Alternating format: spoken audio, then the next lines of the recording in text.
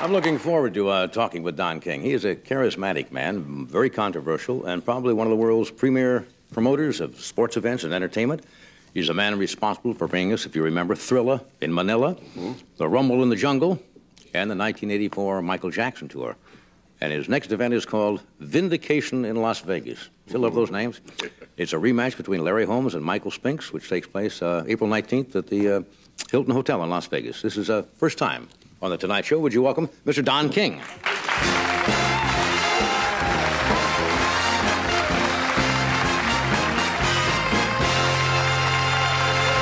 Good to see you. Oh, I'm delighted to be here. Yeah. Well, it's nice to finally have you here. It's been, it's been a long, a long time. time. Yes, it has, John. We don't know each other well. We have talked a couple of times, mm -hmm. passed in the halls, and uh, seen you in a couple of restaurants. Yes, but yeah. we're both true Americans. True Americans. Yes. Now, Only in America could a Don King happen. I've got to do. I've got to do something. I've been waiting to do for a long time. Would you just stay right there?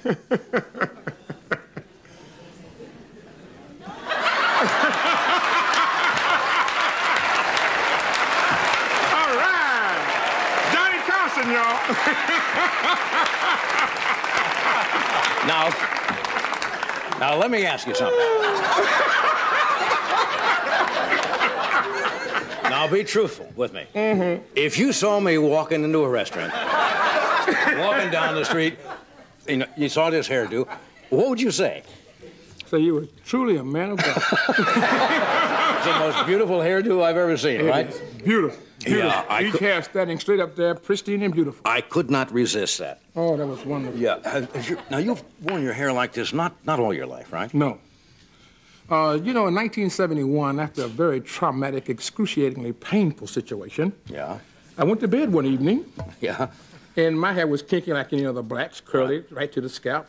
And it began to pop up. I had a rumbling in my head and began to pop up, ping, ping, ping, ping. And each one of your hairs stand up there pristine and beautiful. Yeah. Just like you see it now. No mousse. Yeah. no artificial preparation. And it just stands up there like that. And it got me, you know, I didn't know what had happened, so I was excited about it. I'm gonna tell you the truth because everybody yeah. else don't know, but I'm telling you like this, it is. Now you're not. This is the. No, you're not putting is, me this on. Is it. This is the truth. Yeah. And I couldn't figure it out. So being a religious man, I thought about it like Samson and Delilah. You know, he put the strength. The Lord put the right. uh, strength in Samson's hair. Right. All right. So I felt it was an order from God. Yeah. You know, and it's been that way ever since. I tried to go get a haircut one day, and I got electric shocks from the scissors and got migraine headaches, so I had to let them alone. In 10, 15 years, I ain't had a haircut. Yeah.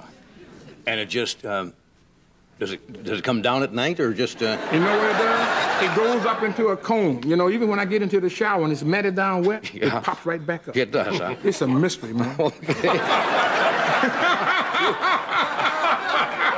I'll go with you if you say oh, so. Big Ed, my man. Yeah. You, you, you have been called probably the most one of the most successful promoters uh, or businessmen. Does it bother you when people say one of the most successful, quote, black businessmen? Why don't they just say one of the most successful businessmen? So, who incidentally happens to be black. Who happens to be black. Yes, yes, I understand. Yeah. How did you get into the promotion game? I know you used to you, you used to caddy, you used to be do a lot of different things. What are some of the odd jobs you've had in your life? Well, I've had them all. I've caddied, I've been a busboy, a waiter, right. you know, all of the menial or right. job that come from Cleveland yeah, from Cleveland. Cleveland, Ohio, the best location in the nation. Great right. city out there, you yeah. know. yes, yes. Save for Cleveland. Let's see for Cleveland. And you have done some of the great promotions of all times.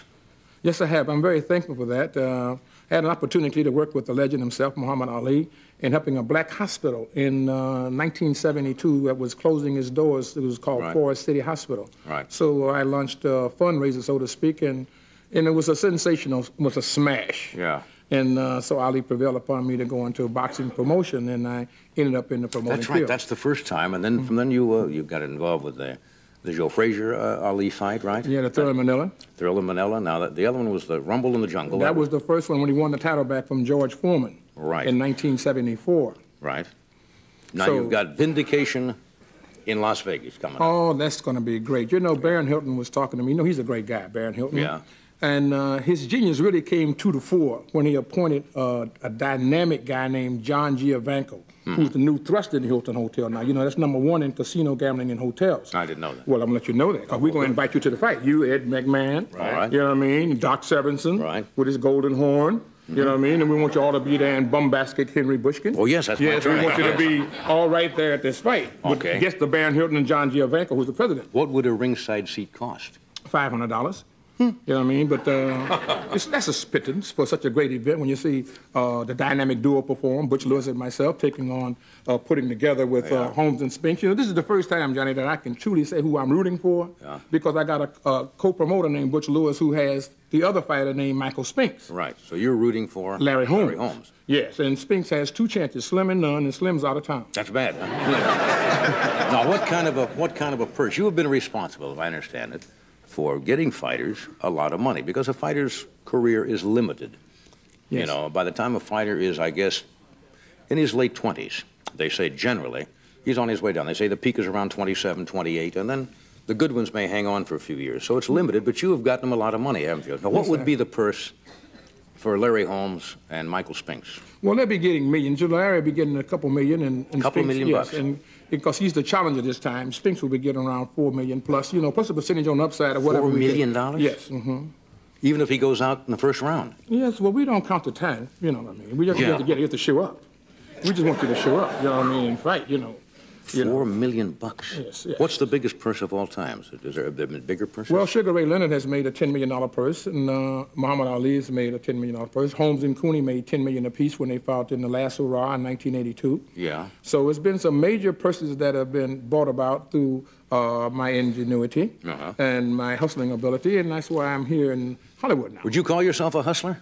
Oh yes, absolutely. I'm from the streets, from the from the streets to the executive suites, from the uttermost to the top. See, they don't call the executives at NBC hustlers, but maybe you're right. Everybody hustles in the business, right? Absolutely. You know, I've, I, when I went over to the Hilton Hotel, that's the flagship. You know, this is uh, uh, that's in the Las Vegas Hilton there. Yeah. The posh, opulence, elegance there is just yeah. something for everyone. And right. if you're lucky, just if you're lucky, you can become a millionaire. I was just thinking that uh, we had chips set aside for you in case you want to come and play. House money? You know what I mean? Yes, you make five million or so for all the little oh, doodads sure, you get involved sure, in, you know what I mean? Sure. And, uh, it, you know, it's very costly, you know, so I want you to be able to have some money. Okay. Well, yeah. you, you, are, you are a hustler.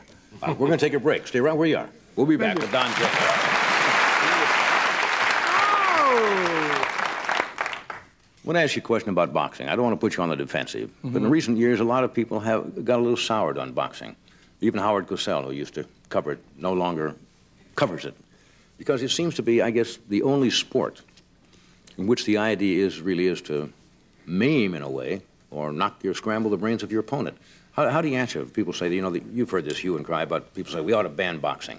The other side of the coin is, well, it gives a lot of fellows a chance, you know, to be successful, become famous, and so forth. How do you well, boxing comes from a humble bed, and usually the people that come there is not an organized sport like uh, many of the other sports that has the uh, the power of money to have publicity to give it a good image. You know, mm-hmm. boxing comes from the Hollywood image, also in the old movies with Cagney, the late great right. James Cagney, and, and Bogart, you know what I mean? If you don't take a dive in five, your mother goes. Looks under the towel, he sees the rod, you know what I mean?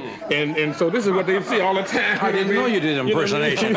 You know what I mean? All this type of thing. But see, we got guys like Michael Fuchs of uh, HBO, the president right. of HBO, Seth Abraham, who is the senior vice president of programming. Right. These two guys are innovative and imaginative. Mm-hmm. So they came to me and Butch Lewis you know, and they said we want to put on a heavyweight series to, to uplift the image of boxing, right. to put on this series to eliminate the dubiousness out of boxing and bring one heavyweight champion to the fore to the public. Yeah. I thought it was a grand idea. So we launched all our efforts, and then we found Baron Hilton. He was the god Zeus. I remember him. He has yeah, a hotel in Las Vegas. in Las Vegas.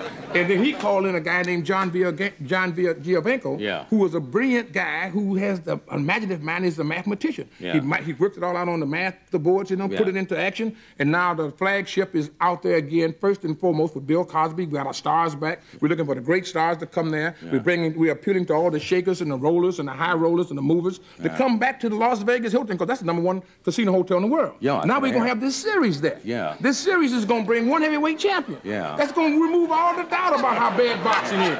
You know what I mean? It's going to be great. You know about brain scrambling. What was my question? I thought that. You were talking about the brain being scrambled. Yeah, now wait a second. Now, you told me a lot of things, Don. But what about when people say it is the only sport in which the idea, people don't want to see self-defense, you know that. It was called the manly art of self-defense. People don't the want to see science. that. They want to go out there and see somebody really get decked, right? Yeah, like Mike, Mike Tyson does them one after another, knocks them out 18, That's 19 right. right in a row. That's the explosive punch that they go to see. Right. Now, but you got to understand in boxing, it's the sweet science. Yeah, it's the hit not get hit, but when you find the big punch, that makes it more exciting. Yeah, I'm when you when you find two honed and sharpened athletes in the center of the ring is like mm. a virtuoso being played on a Stradivarius violin. You know, sweet, mm. sweet, sweet. Yeah. You know what I mean? So that's what Muhammad Ali was. You know, uh-huh. he was lightning fast. So now these guys didn't all get their brains scrambled. You know what I mean? Right. When you look at football and you see Theismann on national TV, Get his link, got his yeah, link. or uh, you got to understand that. And you see these guys beating each other inside football, what they showed on HBO. You know what I mean? You find all these different sports that are much more brutal Yeah. than boxing. But those who don't understand boxing, they don't appreciate it. I'm so happy that you like it, John. You really have come a long way. Yeah.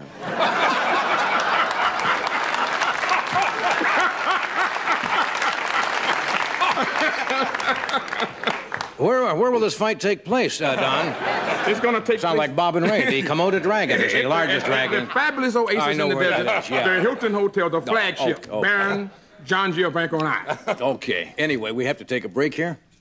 What? You can go another minute. Oh, I We thought you said I gotta minute, go. Man, don't lose this minute. Oh, I'm sorry. Let me tell you what happened. You know what, John? I would love to guest host this show. You know what you did? Yeah. You took a guy out of Indianapolis, a weatherman named David Letterman. That's right. Put him on here, made him a star. Yeah. Weatherman, late night with David Letterman. Yeah. Then you took another lady whose mouth flowed like a river named Joan Rivers. Right. Put her on there. Can we talk? Yeah. Made her a star. You understand? You'd Then like to- you'd like to have this show. Yeah, I want to. No, I want to just guest host. I don't want to have it. You're the big, You're the tree. I'm just a twig on the Yeah. tree. A leaf picker up. you know what I mean?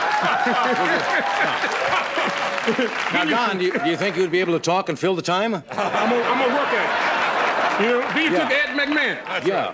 made, a, made him a promoter of a scheme of chance, Yeah. and made him a star. Every time you look around, you're getting a, a, a, leaflet in the, in the mail saying, hey, look at this here, you can win a $100 million. That's right. You know what I mean?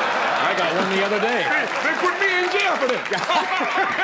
Okay, we'll be right back.